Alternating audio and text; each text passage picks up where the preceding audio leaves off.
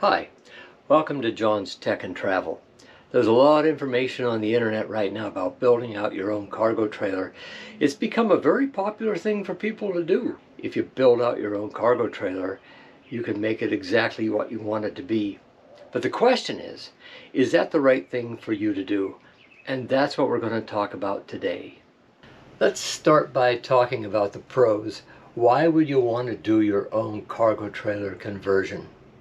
The first reason that I can think of is you can make it what you want it to be.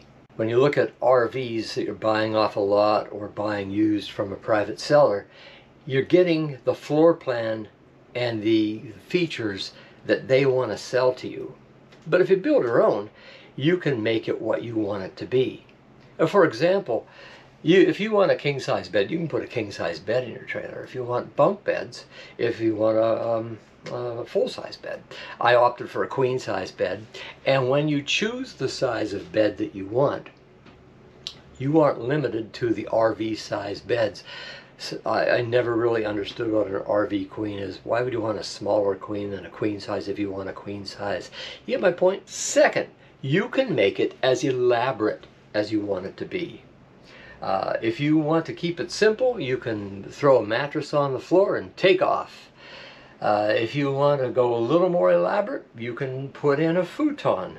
If you want to save floor space because you're making it into a toy hauler, you can have beds that fold up along the sides like a lot of RVs have.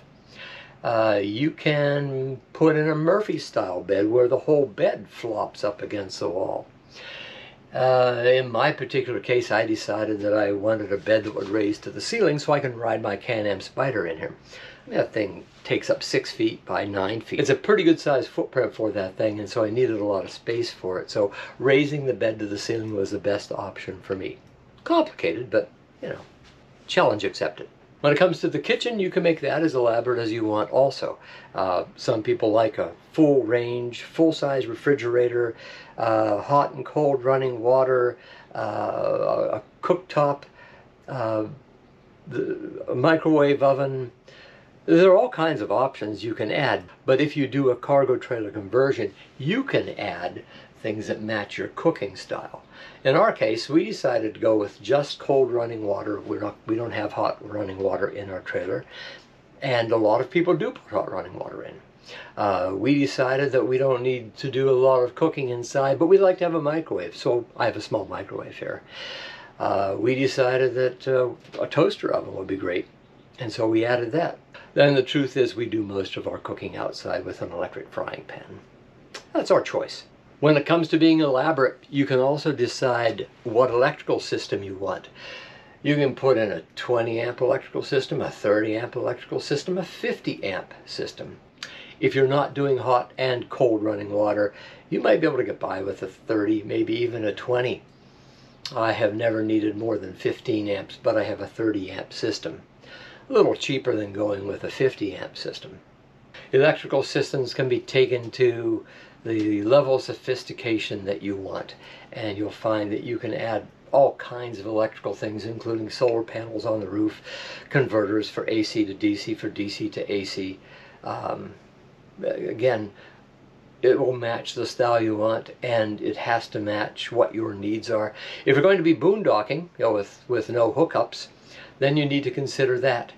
If you're not going to be boondocking, you can make it a lot less complicated and a lot cheaper. You can take your electrical system and all the systems in your trailer to a level of total self-reliance, which is a huge advantage, but that might cost you quite a bit also. There are a lot of people who do it. I think it's fantastic. You can make this trailer to be the epitome of everything you want in an RV. When it comes to pros for building out your own cargo trailer, one of the most important ones is that you can control the costs. Um, you might have a trailer you're already using for business or for personal use and you want to build that out. That's great because the trailer itself is going to be the most costly thing that's going to really affect your budget. You can buy a brand new trailer, you can buy a used trailer. You control that and um, the budget is a really important part of this. It's your budget, it's your trailer. You pick what you want. I'm not going to go into the types of trailers that you can buy in this video.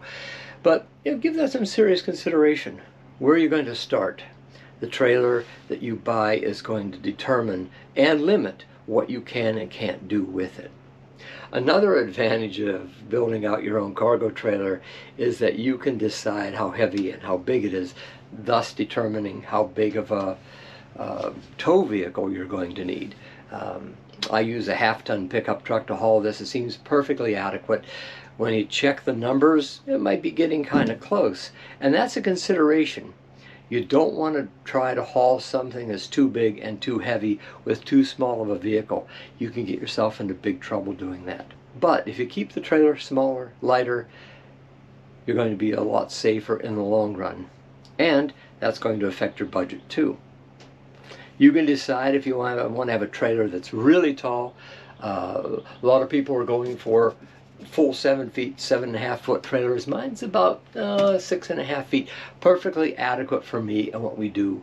Uh, would another half foot be great? Fan it'd be fantastic, but I don't absolutely need that. So a little bit of cost saving here, a little bit of size and weight saving also.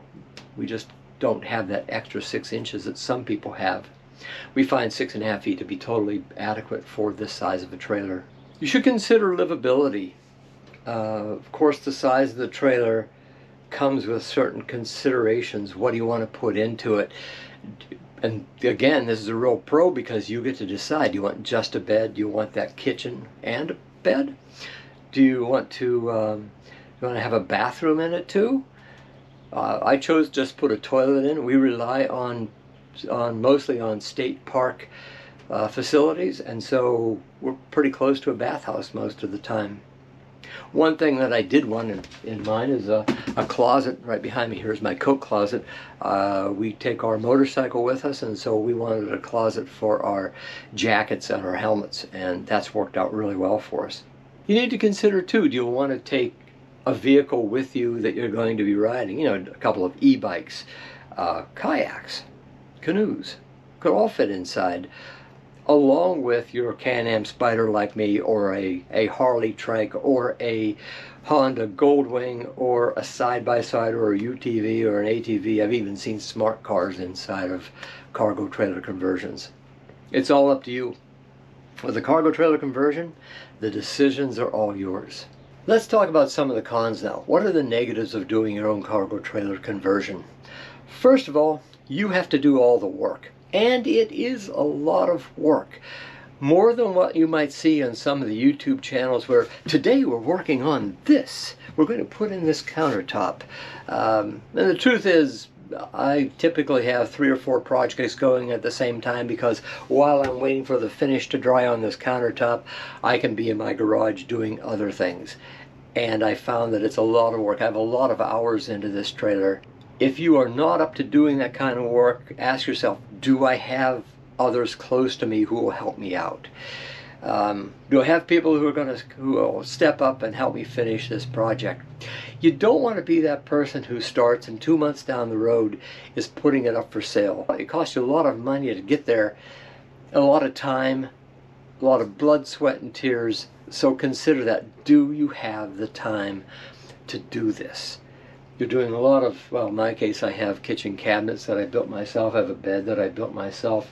Um, it, it, it, takes a lot of time to, to do this and to do painting and to, and to install things and be creative. Uh, sometimes while the paint was drying, I'm standing there saying, is that really what I want it to be? What's the investment in time now to do that again if I have to? Uh, you know. Second, are you ready to plan, design, and build? All that takes place in this small space here. Uh, I'm not a great draftsman, and a lot of what I see on YouTube are people who are really good with with uh, CAD. I do some of it, but I'm not that great at it that I'm going to lay out an entire trailer.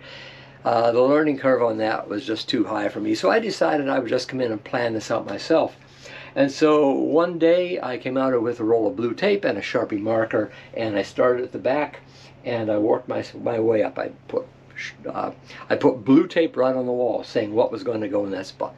A cabinet at the top, a cabinet at the bottom, uh, a hook here to hang something on, uh, cabinets over here for, or shelves over here to put uh, the microwave and the toaster oven on.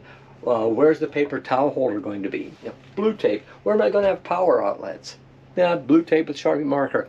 I just laid, it, laid the whole thing out that way.